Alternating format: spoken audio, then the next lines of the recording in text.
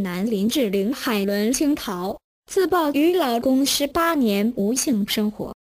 海伦青桃老公是谁？近日被誉为越南林志玲的艺人海伦青桃向媒体起诉惨遭十八年丈夫拜发奎多次家暴，称与老公结婚十八年无性生活。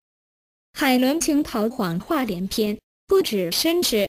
学历都是假，连所谓的记者会上自曝流产一事，今日也遭老公戴发奎亲自推翻，坦诚是编的，只是为了要塑造两人有夫妻之实。至于妻子外遇、富二代一事，戴发奎仍坚信妻子不可能做出这种事，因为自己都跟得很紧，认为妻子只是想要找安慰罢了。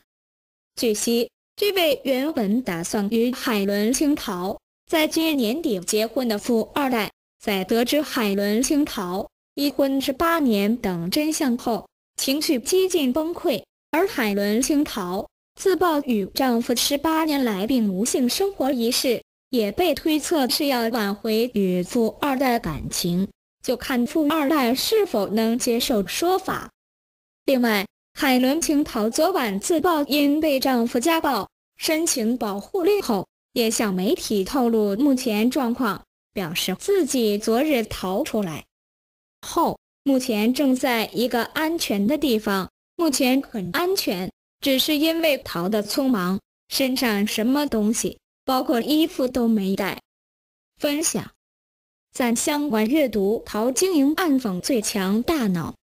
老选手排挤新选手，搜狐娱乐讯。上周五，江苏卫视《最强大脑》第四季凭借人机大战回归，可谓是吸睛无数。越来越多的观众表示更加期待接下来的比赛。本周五的节目中，外号“楼底林志颖”的高颜值选手谢超东带着自己的技能强势来袭，宣战名人堂选手申一帆。原本扣人心弦的比赛，却出现了名人堂选手们集体反对嘉宾决策的状况。心直口快的四朝元老陶晶莹甚至暗讽老选手排挤新选手。今年二十一岁的谢超东一身儒雅的书生装扮亮相舞台，拥有敏锐的观察力和超强的记忆力的他，一上场就直指名人堂的记忆王申一帆。更是直接喊话：“我要替代你，成为名人堂的一员。”后台观战的申一帆也不甘示弱，卷起袖子，自信回应：“你先取得挑战资格再来吧。”现场火药味十足。尽管现场战意浓厚，周杰伦却看得兴致勃勃。这就是我想看到的。不过，谢朝东接下来的挑战过程却是一波三折。甚至在最紧要的关头，答案中还出现了错别字，这样看似微小的失误，却引发了名人堂选手和嘉宾们之间的巨大争议。魔方达人蒋丽萍直言：“这样其实就应该淘汰了。”名人堂主席王峰也在现场不断给韦坤明教授施压。之前也有选手出现过这样的问题，是算错的。所以你看怎么办吧？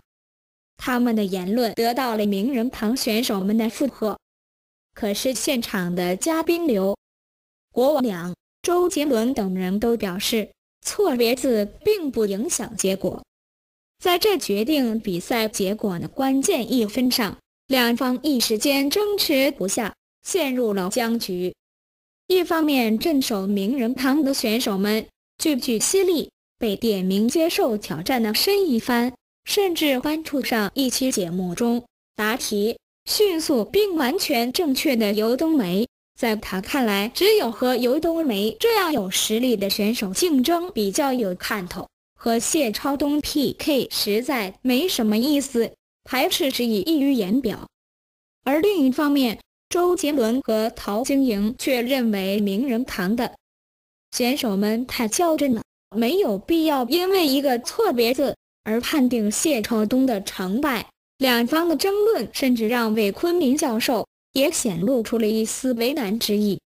从第一季第一期就见证最强大脑的四朝元老陶晶莹看着名人堂选手们争执的情景，意味深长地说道：“其实我觉得这个舞台不仅比脑力，它呈现了很多人类心理学现象。你们名人堂里记不记得英豪来的时候，你们也很生气，现在你们又是一伙的了。我觉得这个现象太有趣。”这让魔方演示王英豪面露尴尬。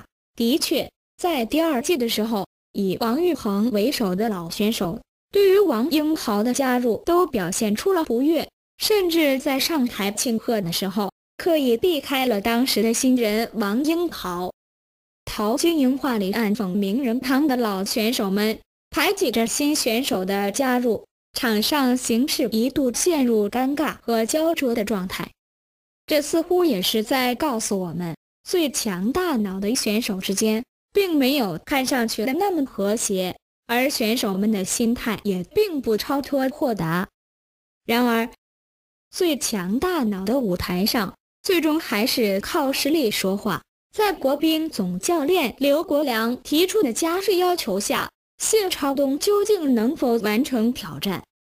更多内容，敬请期待本周五晚二十一点十分，江苏卫视《最强大脑》。责任编辑：刘淑兰。分享：赞相关阅读。